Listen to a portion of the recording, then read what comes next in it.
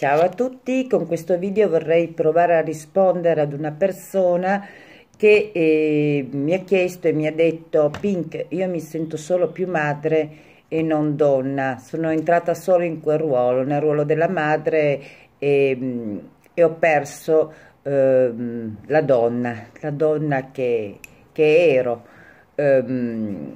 Allora, eh, Succede molto spesso, io posso dare una mia opinione attraverso una mia esperienza personale, quello che ho vissuto, quello che ho visto, quello che ho conosciuto.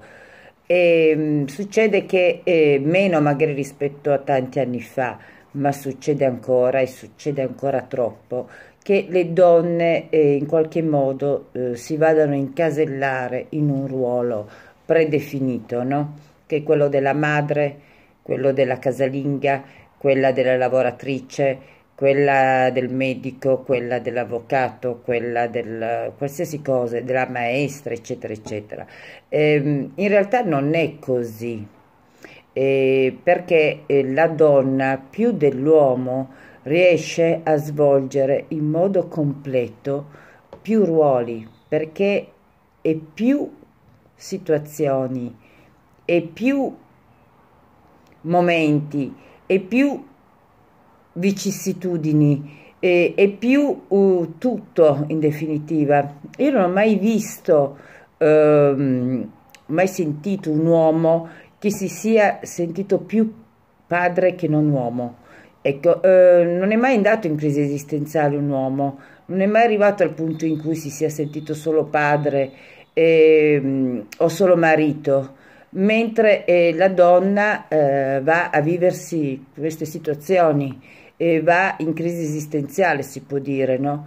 Eh, sono solo madre, sono solo donna, sono solo amante, sono solo femmina, sono solo lavoro. Eh, insomma, la donna tende in qualche modo a a infliggersi praticamente questa tortura, no?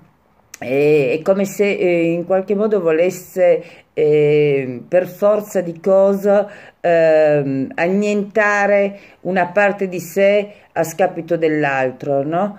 O, questo almeno è quello che avviene, no? Poi che lo si voglia realmente, non lo si voglia, eh, eh, dipende, però finisce che fa così, no? Si va ad annientare una parte per farne emergere un'altra, quando in realtà è bravissima a, a, a, fare tutto, a essere tutto, perché noi siamo tutto, noi siamo la mamma, noi siamo la donna, noi siamo la femmina, noi siamo la lavoratrice, noi siamo la casalinga, noi siamo l'amica, noi siamo l'amante.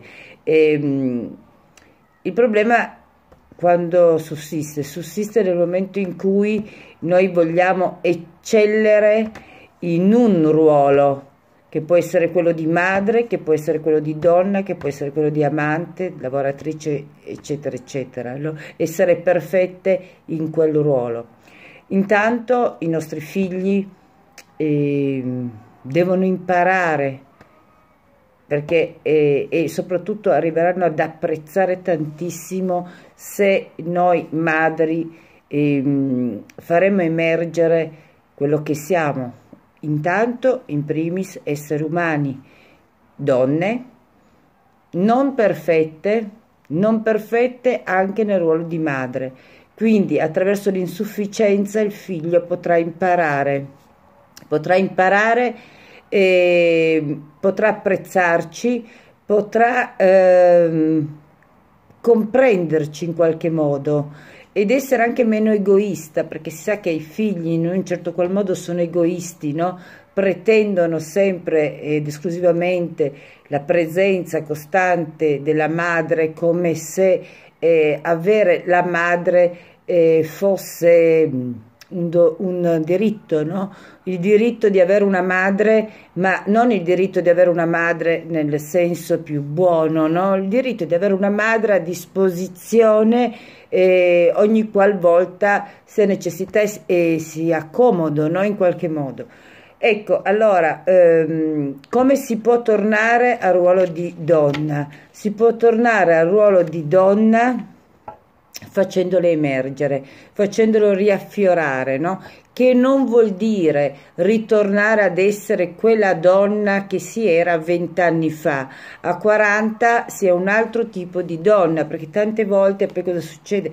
Che una donna fa la mamma, la madre, eccetera, eccetera, eh, stanca solo e esclusivamente di quel ruolo, di essersi incasellata in quella situazione, come se andasse fuori di testa, esplode e inizia praticamente ad avere atteggiamenti che non sono neanche quelli di una donna, ma quelli di una eh, bambina, di una ragazzina, no? È come se eh, per loro ritornare ad essere una donna fosse quello di ritornare ad essere infantili in un certo qual modo, quell'infantilismo che comunque esiste e sussiste ancora a 25 anni se vogliamo, no?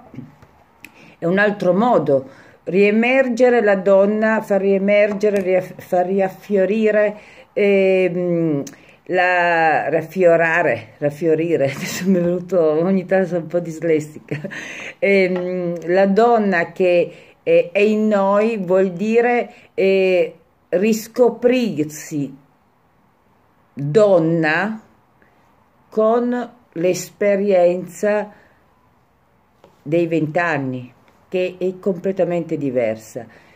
Possiamo dedicare dei momenti per noi, per il ballo, per una passione, per le amiche, per una nostra coccola, per eh, anche eh, dedicare un nostro momento vuol dire anche non adempiere eh, una mansione solo esclusivamente di madre, magari fare un atto di ribellione e in quel preciso momento se non si ha voglia non svolgere quel tipo di mansione, parlare, comunicare con il figlio, il marito, quel che sia, mm, le figlie e dire io non ho voglia, non lo faccio, eh, fatelo voi. Questo è anche un modo per eh, abituare eh, gli altri e anche noi stessi a far emergere quella donna che in qualche modo è assopita, assopita che rimane nascosta, no?